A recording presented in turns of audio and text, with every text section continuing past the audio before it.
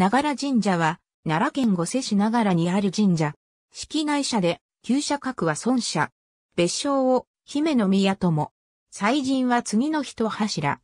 文献では、他の祭神説として、今年の主の地説や、コーテル姫の地説が挙げられている。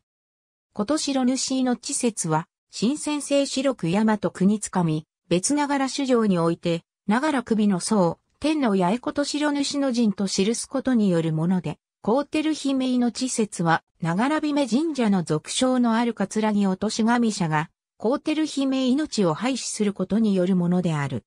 もともとは、ながら首が祖神を祀ったが、後に、桂木の一言主神者や高鴨神社の姫宮とする伝承が生じ、コーテル姫命説や、シタテル姫命説が生じたとする説もある。創建は不詳。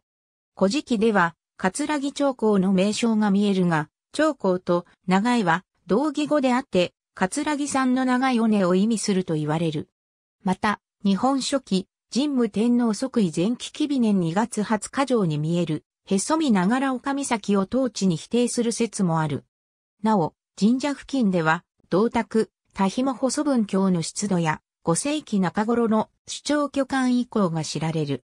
文献では、日本書紀、天武天皇9年9月9日上において、天武天皇が、長良森において、記者を催したとする記述があり、これは、長良神社の森を指すと推定される。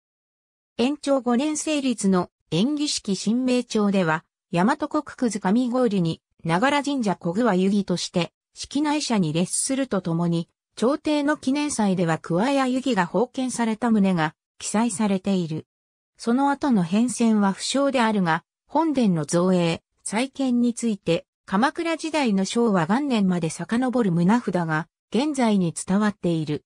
また、春日神社文書応永25年の半田省中心文では、中良宮の記載があるが、これは当社に否定される。明治維新後、近代社格制度では孫社に列している。本殿本殿は一見者春日作り。